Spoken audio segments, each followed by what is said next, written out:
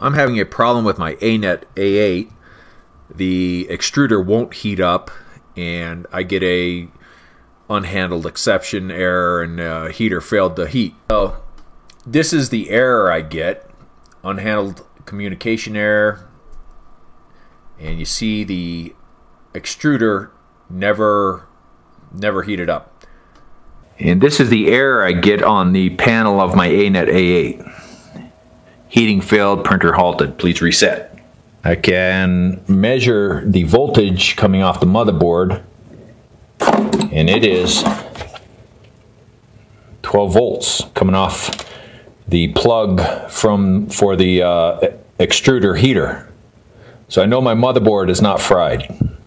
So I got the heating element taken out of my extruder hot end, but I have to take this Kapton tape off and separate the thermistor and the wires and stuff like that. Hopefully without cutting into any insulation. Ah, see? Look at that. See the multimeter jumping up? It's set to 200 ohms. And if you move the wire just right, we'll make contact and then you have a good uh, heater. So it's not the heating element, it's the connectors of the uh, from the heating element to the insulated wire. So you see these uh, cheap little connectors on here that they put on there. The ANET certainly is not built for uh, quality. It's built for uh, quantity, basically. Let's see which one is bad.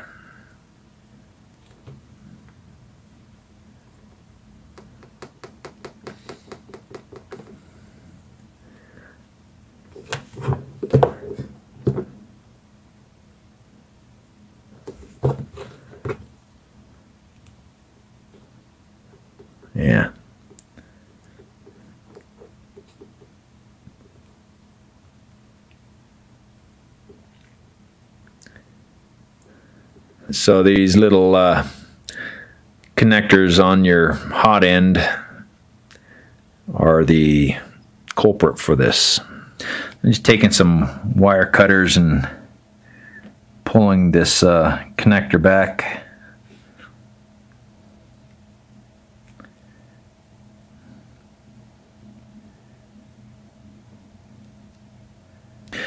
So I need to cut this insulation off.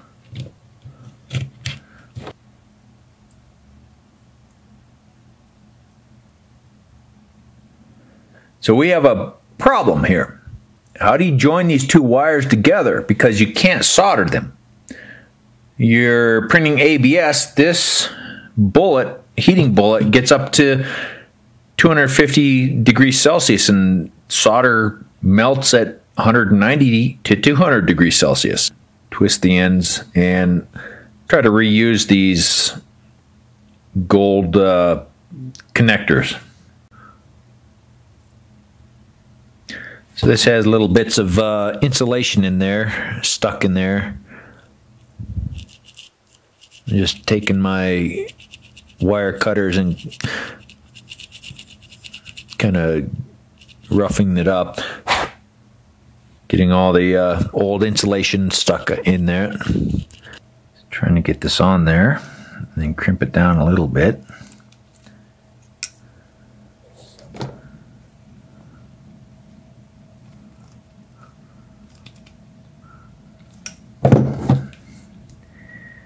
And I have these crimpers for micro connectors, but I don't know if it'll work or not. So. I've got the bare wire inside the gold connector, and I'm going to overlap them like this and squish them together with my needle nose pliers. And hopefully have a good connection. And just crimp it in several places doesn't have to be pretty, just has to be functional. And rinse and repeat for the other connector. Take a pair of needle nose pliers and kind of reform this connector.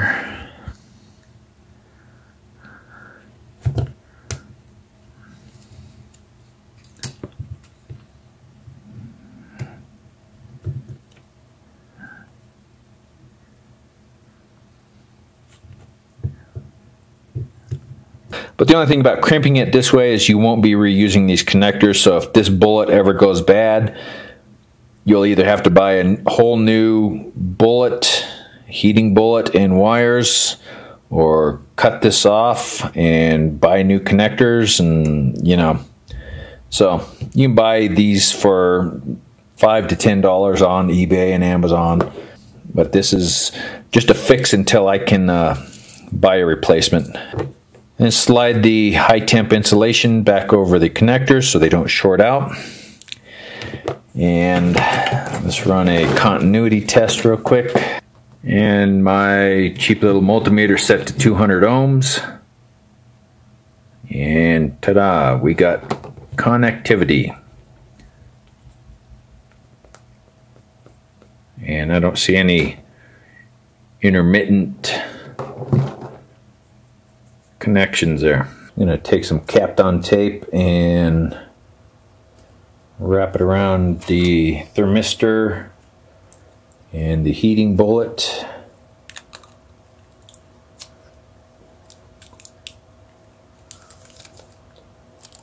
So I have my thermistor and heating element wrapped up in Kapton tape again. I'll put it back into the heating Put it back into the heating block. Make sure the thermistor goes into the hole. And then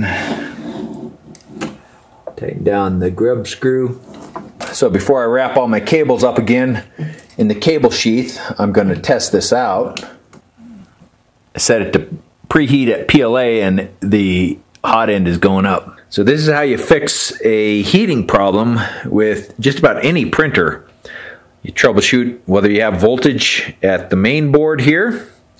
You troubleshoot whether you have a open or uh, some registered resistance on the heating element. You should get maybe 8 to 10 ohms on your heating element. If you don't, then it's probably an open connection on one of these wires or your heating element's burned out. But that's how you troubleshoot a uh, 3D printer heating problem.